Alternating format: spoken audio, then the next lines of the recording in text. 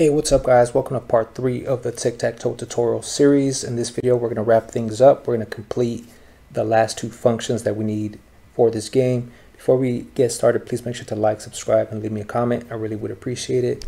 All right, let's open up the file that we've been working on. And the first thing we're going to do is we're going to go over to the press function and we're going to call on the check win function that we're going to create in this video. So at the end of the first if statement and then on the else statement as well.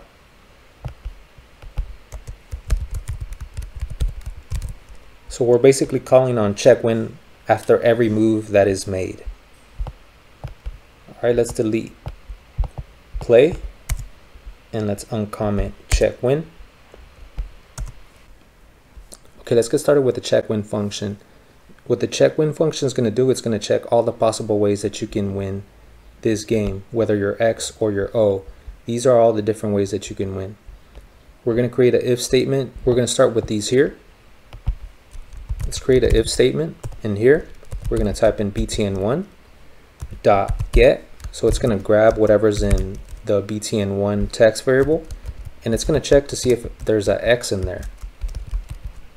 Now we're going to grab whatever's inside of btn2 and we're going to check if there's an x inside of there. And we're also going to grab whatever's inside of btn3 and we're going to check if there's an x in there. If there is then x wins right? But that only takes care of one possible way that x can win. We have to take care of all the other ways that x can win. And what were the other ways? So this was one. Now we're going to do 4, 5, and 6. So we're just going to change this to 4, 5, and 6.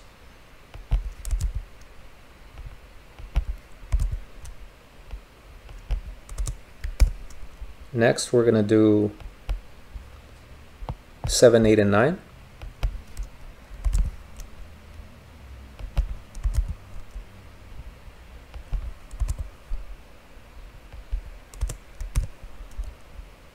And then we got 147.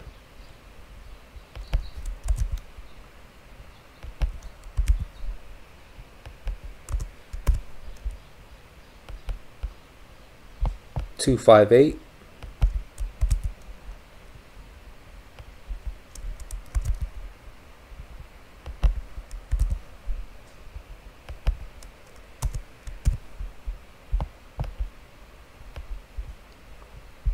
Three six nine.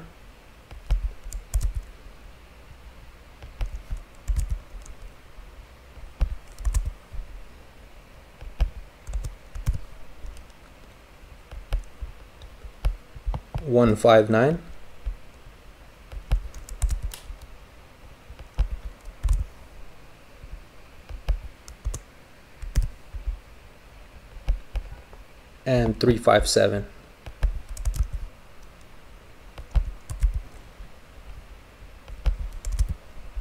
We can delete this OR because we don't have anything else to check.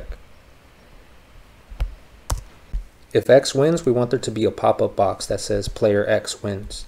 To do that, we're going to type in tkinter message box dot show info. And inside these brackets we get to set two different things. The first thing we're going to set is this window that's going to pop up. We can actually set a title on it. So let's call it tic-tac-toe.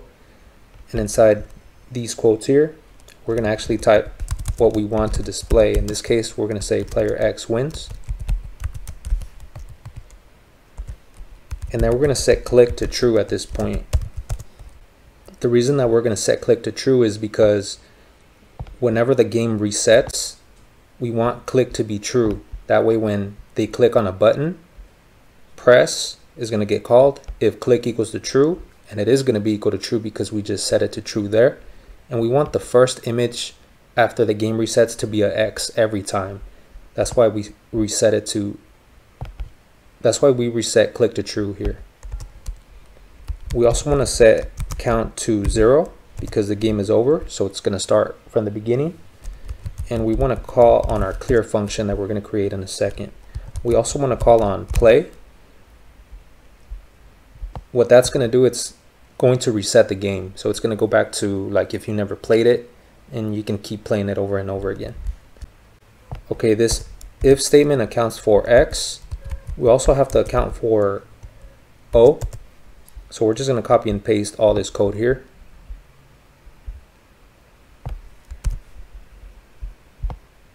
And we're going to put it here. We just have to change the X's to O's.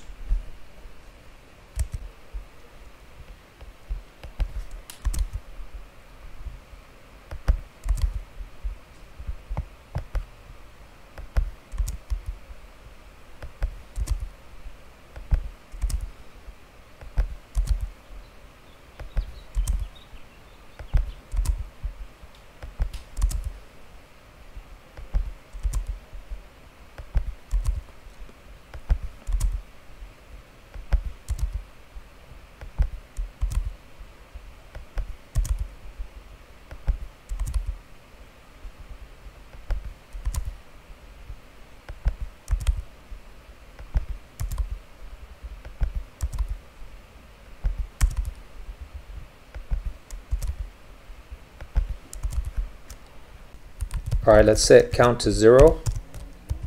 Let's call in the clear function and the play function.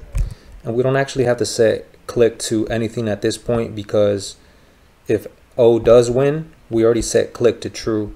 Therefore, when the game resets, click is going to be equal to true and the first move is going to be X. All right, that accounts for O. Now we have to account for if this is a count game. So we're going to say if count equals 9, at that point it would be a tie game. If it's a tie game, we want to output a message. So let's type in the same thing, tkinter message box, show info. And remember, we are able to use this because of what we brought in at the beginning of the project, which was the import tkinter message box.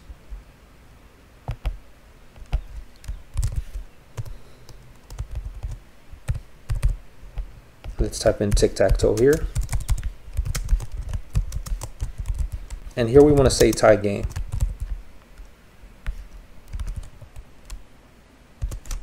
We want to set click to true, count to zero. Let's call on clear, and let's call on play. Now let's work on our clear function. This one's going to be the easiest one of them all. All we have to do is set each one of the text variables to an empty string.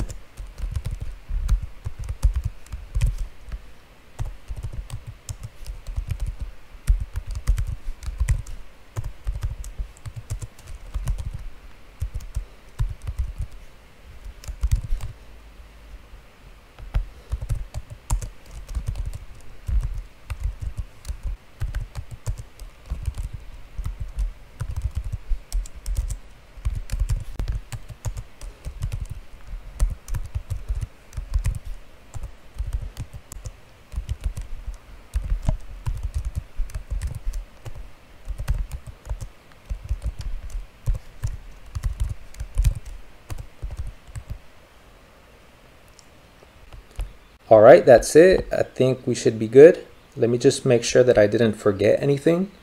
And actually I did right here in the O section. If O wins, we didn't actually include a message for if player O wins. So let's just copy and paste this message here.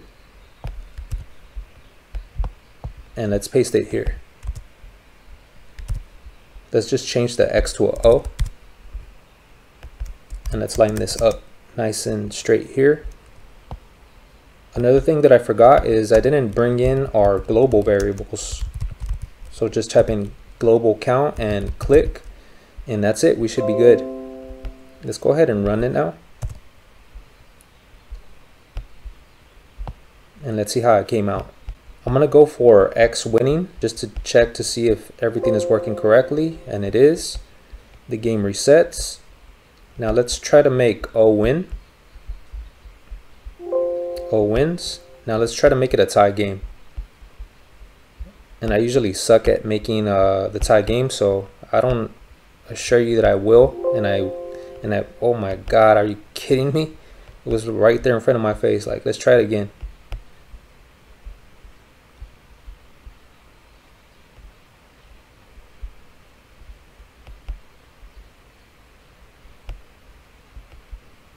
All right, there we go. Cool.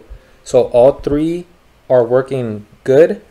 And that's it. That's how you make this game. I hope you guys learned a trick or two. It was fun teaching you guys how to create this game. I'm working on another project right now that I can't wait to show you guys. So I'll see you guys then. Thanks for watching, guys.